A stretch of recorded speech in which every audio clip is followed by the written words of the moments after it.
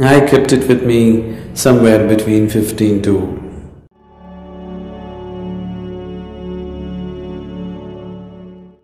And one time I had eight very wonderful Ekamukhis with me.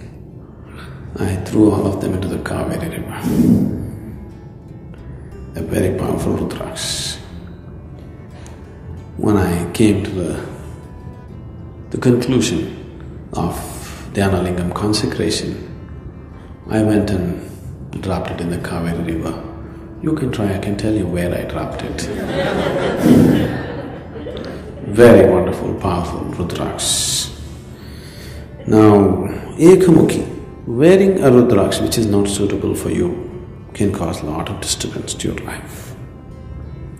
Generally we say, if you wear Ekamukhi, within twelve days you'll leave your family. The question is not whether you will leave your family or not. The nature of the Ekamukhi is such, it will set you into that kind of mode that you cannot be with people. It is for an ascetic. It is not for somebody who wants to live in family situations where there is physical contact with people, emotional contact with people. This won't assist you. It will just pull you away in a different direction. If you try to go this way when it's pulling you that way, it'll cause disasters to your life. I know people, all these eight Rudraksh, one was given to me by somebody else who had it.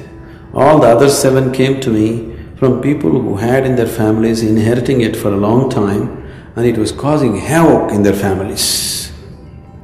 And when I looked at them, I told them, these are the troubles that you have and you got a Rudraksh in your house. You remove it from your place, everything will be okay. So they offloaded it on me. I kept it with me somewhere between fifteen to, you know, the last one maybe three, four years, but in a span of about fifteen years I collected these eight Rudrakshs. And once the Dhyanalingam was over, I just put all of them into the river.